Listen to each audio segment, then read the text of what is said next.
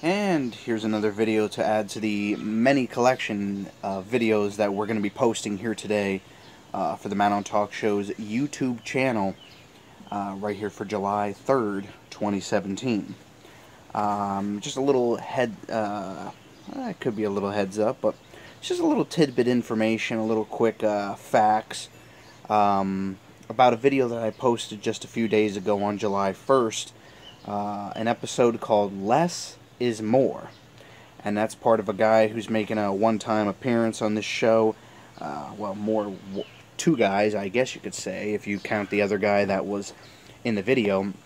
Uh, but the video I posted the other day called Less is More is uh, a guy that I met. Uh, you know, I see him time to time. He goes and picks up deliveries at places. And his name is Les. And, you know, he's kind of like uh, Mr. Truth Teller on this show. It's uh, another version of Mr. Truth Teller, just not Mr. Truth Teller. And, uh, you know, he goes on big time rants. Uh, so I just had to get. That was actually a video that I taped back in April. Just was holding on to it and uh, figured I release it in the days leading up to our 17 year anniversary here at the Matt Ahn Talk Show. And, you know, the guy's just a crazy character. You know, he shoots at the mouth, kind of like Mr. Truth Teller does. And I like those kind of guys. And I like to bring.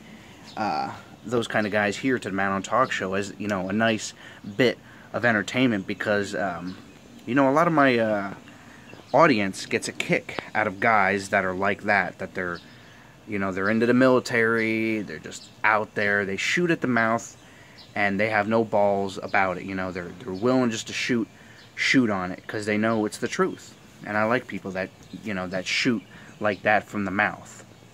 You know tell it how it is uh, mention things that people are afraid to admit to. Sometimes you just got to come out and tell the truth. Uh, you know, that's how it is. You know, a lot of people trying to cover up and always hide on hide on shit and then not admit to it stuff. But people like Les and Mr. Truth Teller are, you know, the kind of people I like and the kind of people that I inspire to be. Where you call people out on their bullshit. You know, because there's just you know, the, the times have changed. You know, I sometimes sit back, I'm like out here enjoying the weather, and you think about times like when you were in the 90s and things were different, and nowadays that there's just so much shit caked on life. You know, and then there's fucking people that have to sugarcoat stuff and lie just, you know, because they fear something, and it's bullshit.